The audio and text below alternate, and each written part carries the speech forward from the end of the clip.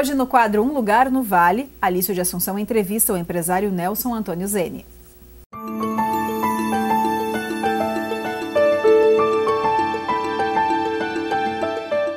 No espaço Um Lugar no Vale dessa semana, vamos conversar com o empresário Nelson Zene, ele que é aqui de Lajado, e vem conversar conosco então a respeito do turismo aqui na região.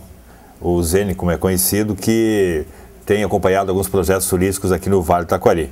Prazer recebê-lo aqui, Zene. E nos fale um pouco então sobre ti, né? E sobre essa tua paixão pelo Vale Taquari, tu que, que não és natural daqui.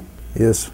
Eu sou natural de Carlos Barbosa e vim para Lajado há exatamente 40 anos. E me envolvi com a comunidade aqui e estou gostando demais dessa terra e conhecer esse, esse vale todo. Isso tem sempre novidades e, e coisas boas para se conhecer nesse, nesse vale do Taquari. Pois é, Zene. Nessas andanças, por exemplo, caminhos da Forqueta que tu conheceste esses dias em Arroio do Meio, o que tu poderias fa falar sobre, sobre essa rota Caminhos da Forqueta? O Caminhos da Forqueta é, é um, um, local maravilhoso, o pessoal é muito receptivo lá e a gente conhece muito da história, eles apresentam a história da, da igreja de pedra, da igreja lá de São Vedelino e a história da comunidade toda, isso é muito bom. E para o pessoal que quer conhecer e ter, ter um, fazer um passeio diferente, tem que conhecer o Caminhos da Forqueta, tem muita coisa boa para se ver lá. E é tão pertinho, né? Em Arroio é, do Meio. É, é bem próximo aqui da, da, do, do, Vale do Taquari, da, de, de Lajado, bem é, próximo. Exato. Zene, também outro local que tu acompanhaste esses dias, ali pelos interiores de Pouso Novo, né? E já entrando na área de Fontoura Xavier, que foi Barra do Galvão, aquela, aquela, aquela região ali onde também aconteceu o combate no fogo lá na Barra do Dudu. Enfim, o que tu pode falar sobre esses locais. Isso. Isso são regiões que a gente jamais imaginaria que ia conhecer um dia, eh, essa parte da história do, do, do Rio Grande do Sul, vamos dizer. E a gente está lá no local, eh, dá um sentimento assim de. É, um conhecimento a mais para a pessoa. E o lugar é muito maravilhoso, lá vale a pena conhecer tem que tirar o pessoal que quer ir fazer um passeio legal, tem que ir para lá conhecer essas regiões aí. Ok, Nelson Antônio Zene, foi um prazer recebê-lo aqui e que tu continues compartilhando, né, com a comunidade aqui do Vale do Taquari, ah, esses belos locais que tu conhece aqui através também de iniciativas tua. Isso, e aproveitar para convidar o pessoal para ir a Ilópolis agora no próximo final de, de semana. É dia 15, né? E dia 15 e que vai ter, eh, vai ter surpresa já a partir de Lajado. Vai ser um passeio muito legal, com certeza. Tá ok. Obrigado pela tua participação aqui na TV Informativa.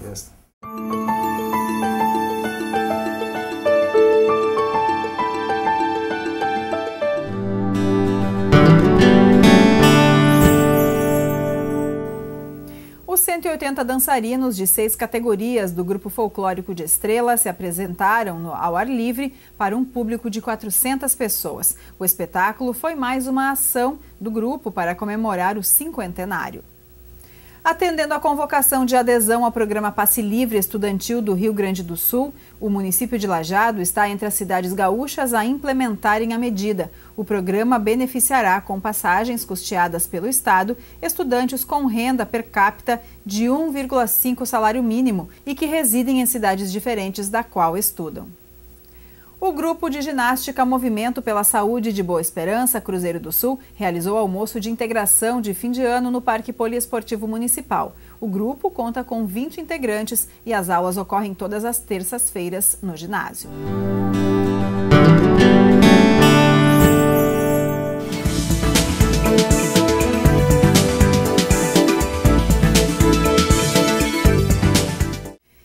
Abertas até o dia 11 de dezembro as inscrições para a segunda etapa do quarto circuito de natação Univates, que ocorrerá no dia 14 de dezembro, às 14 horas, na piscina semiolímpica do Complexo Esportivo. A previsão é de que participem desta etapa mais de 150 atletas com idades entre 5 e 70 anos, de equipes de todo o Rio Grande do Sul. Interessados podem acessar o site da Univates.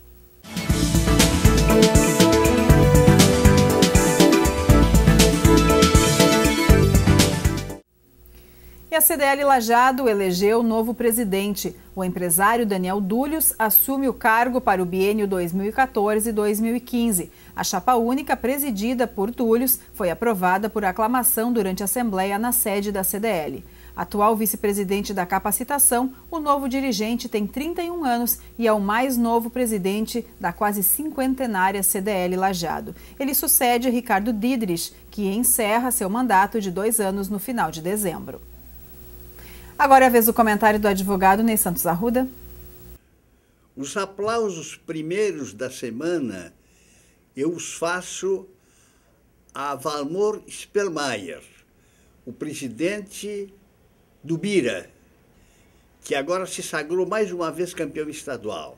É o esporte de Lajado e do Vale do Taquari no seu esplendor, dando lições ao Rio Grande do Sul, mostrando que a nossa gente tem capacidade de organização, de trabalho e, consequentemente, o trabalho da sua diretoria, o trabalho daqueles que o rodearam, os técnicos e, sobretudo, também aqueles que patrocinaram, fizeram com que Lajado chegasse a esse ponto extraordinário no cenário esportivo do Rio Grande e do Brasil.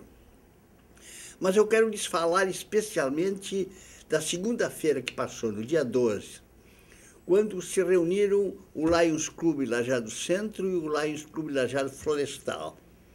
E foi distribuído, ofertado a cada um dos homenageados o prêmio de educação, o prêmio Lions de educação, o prêmio Lions de saúde e o prêmio Lions de segurança. O prêmio Lions de educação ao professor José Alfredo Chiro, conhecido, um homem dedicado à educação, fazendo coisas incríveis, como a imprensa inclusive tem noticiado. A segunda menção é para a doutora Sandra Ellen Chiari Cabral, Prêmio Lions de Saúde, pelo extraordinário desempenho no desenvolvimento da saúde, essa saúde especial, esse trabalho especial em favor dos necessitados. E além da segurança e da saúde, esse prêmio muito querido e muito especial que é feito em decorrência da atividade em favor das mulheres abandonadas, com a casa de passagem, onde o atendimento é especialíssimo e a homenagem é a advogada Silvia Cristina Feldensvie. São pessoas fora de série na nossa comunidade, exemplos para a nossa comunidade. Por isso que o Lions está aplaudindo, homenageou e prestou uma, uma homenagem especial num jantar aqui em Lajeado, com cerca de 300 pessoas, com aplausos, todos aplaudindo de pé esse trabalho excelente, admirável e que merece e que ficará na história de Lajeado também para ser cultuado por todas as pessoas que, como esses três mestres da vida, deixam como esperança e como exemplo para a nossa comunidade. Tenham todos um excelente fim de semana. Muito obrigada e até a próxima semana. O Informativo Notícias fica por aqui. Confira nossa programação também no site tvinformativo.com.br. Tenha um ótimo fim de semana. Obrigada pela sua companhia.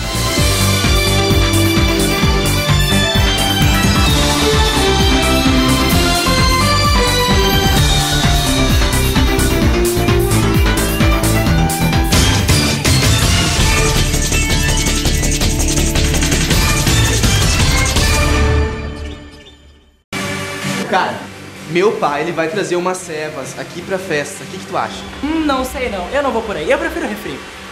Pô, cara, mas, mas cadê a parceria? Mas tu já viu como é que teu pai fica quando ele bebe? Eu é que te pergunto, cadê a parceria?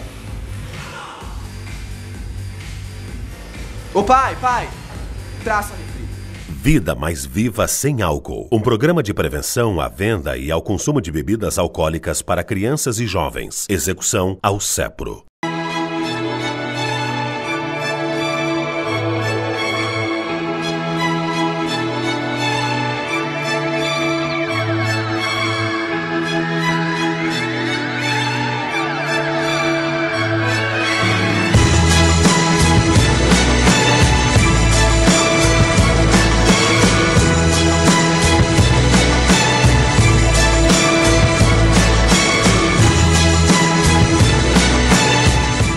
Na Lotaria Johan você encontra a linha completa de máquinas e equipamentos para seu negócio, balcões para buffet, montagem L com detalhes em madeira marrom, balcão para carnes modelo duplex, vitrine Thermix e Sevamix, geladeiras para bebidas, equipamentos para mercados, açougues, lancherias, restaurantes e agroindustriais. Lotaria Johan, na rua Júlio de Castilhos, 848, no centro, em Lajado. O Colégio Madre Bárbara é uma escola completa. Com mais de 100 anos de história, une o conhecimento com a integração da família na aprendizagem e na formação dos jovens para a vida. O Madre Bárbara está de portas abertas para receber e formar cidadãos. Colégio Madre Bárbara. Juntos, construindo o amanhã. Matrículas abertas.